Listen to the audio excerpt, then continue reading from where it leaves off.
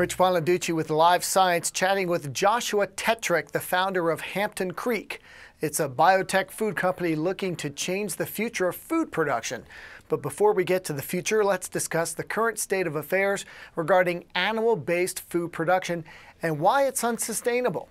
Yeah, so let's really take a look at it. So, using eggs, the cheapest, most abundant source of animal protein in the world, what's the deal? So, 1.8 trillion of them are laid every year, and 99% of all of those chicken eggs, no matter where they're laid, whether in Birmingham or Beijing, are laid in exactly the same place, places that I think are pretty broken. These are industrial warehouses lined with cages on either side of the facility. In each individual cage, you have nine birds crammed together in a small space about the size of an iPad for every single bird for two years. Those birds live in those cages for two years, and for two years, they gorge out on antibiotic laden soy and corn, which require a whole lot of land and water and fertilizer, which requires a lot of oil, so lots of energy inputs. We have the animal welfare issue. And it's pretty unsafe too, because you can imagine if, if you took me, you, and six of our friends and you put us in a bathtub and locked the door, for two years, someone's going to get sick. And that's what we're seeing with animals, right? We see avian flu outbreaks, we see salmonella, salmonella outbreaks. And as a company, Hampton Creek looks at that and we think it's just bizarre. We think it's gross, we think it's unsustainable, and man, we think we can do better. I hope you could do better than the 76 million people who get food poisoning every year, no doubt from food safety related issues. It is. Food safety is a big, big issue, and we're seeing it, you know, even more relevant today, I think. You know, Google avian flu outbreaks and see how many Google search, search results you get Saudi Arabia, China, India, Mexico recently. Google salmonella outbreaks. Last year, half a billion eggs were recalled because of salmonella poisoning. You know, something's a little bit off in the system. And instead of trying to incrementally improve something, like trying to make a horse and buggy go faster, why not just invent a car and just do it altogether better? And that car would improve upon the scene I'll wager most Americans would rather not think about one of the animal cruelty involved in our animal based food production process. Yeah, you know, we think the big way to change this actually isn't changing behavior and perception, it's just by making something better. So, for example, take my dad, who I love to death. He lives in Springfield, Missouri. Uh, he knows about animal cruelty pretty well. I tell him about it. He knows about climate change. I've talked to him all about the science, and I think he accepts it, thankfully. Um, you know, he knows about these food safety issues, but guess what? It doesn't affect his purchasing decisions. He still goes on buying the same cookies and the same milk and the same eggs.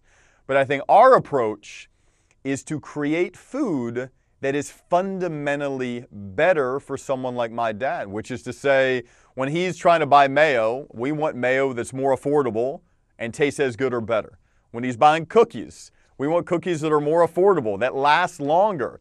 When he's buying a dozen eggs for $1.49, the middle point of uh, next year, he's going to see our product for 59 cents. And he's not going to choose us because he cares a lot about the world for the same reason that he's not choosing the unsustainable thing because he doesn't care about the world. He's just choosing it because it's the easy thing to do and we can make the easy thing the thing that's actually better. And that easy and better thing can also taste good and be affordable. Yeah, they taste good and it saves them money.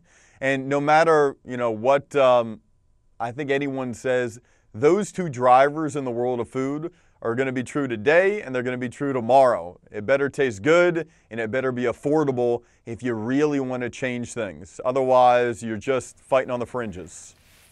It seems to me you're approaching this from two vantage points. Firstly, you're producing a product that people will like and like for whatever reason, really, because it tastes good or that it's cheaper or that it's better for you or the environment.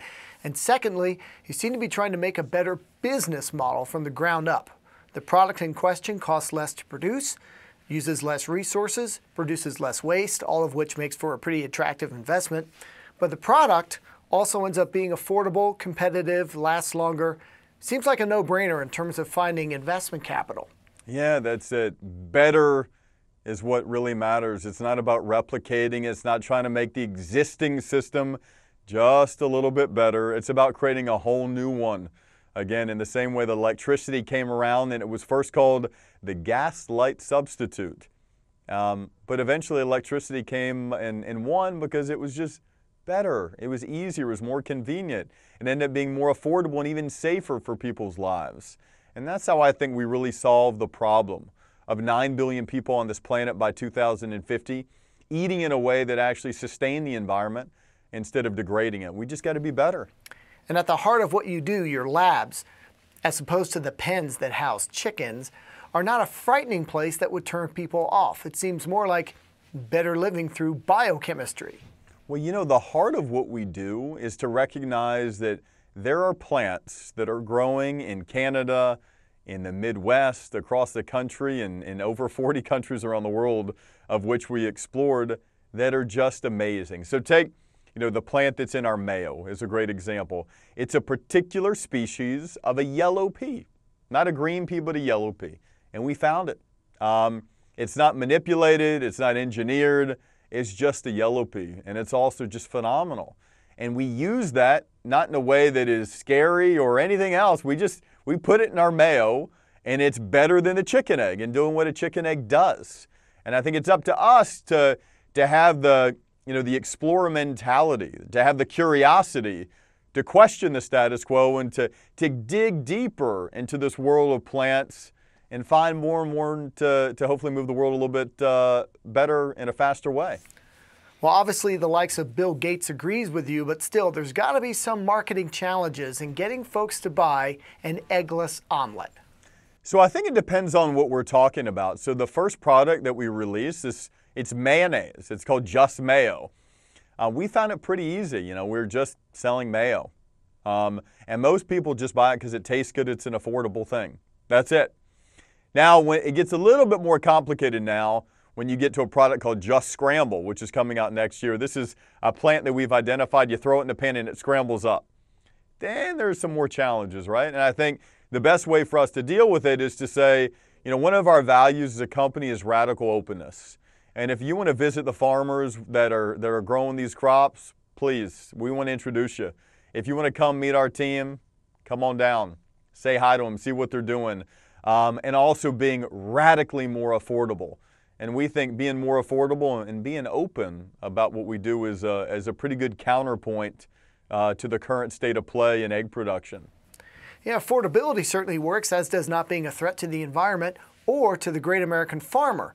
Far from wanting to put them out of business, farmers could simply switch over to growing the kind of plants your products call for. Uh, 100%. You know, a farmer's interest isn't in growing soy and corn to feed birds crammed together in tiny cages. That's not why a farmer likes to be a farmer. A farmer wants to be a farmer because they love the land, they respect the land, they care about the soil, and they want to grow food to feed people. That's why a farmer does what a farmer does. And I think if we can provide that farmer new crops, new ways of doing things that are ultimately better for their livelihood, well, you know, I think that's part of the reason we, we have some pretty incredible support in the farming community. It sounds as though these products are good for everyone from the start, you know, through to the end of their life cycle. That's right. And that's that's how I think food in the world wins when we make the good thing the thing that happens to be the most affordable and the thing that tastes the best. I think that's how that's how the world really moves forward. Well, that's quite the business model. If I'm interested in finding out more, where can I go for more information? Just check us out on hamptoncreekfoods.com uh, our Facebook page. We'd love to hear from you and go into your local Whole Foods and, and taste uh, Just Mayo all for yourself.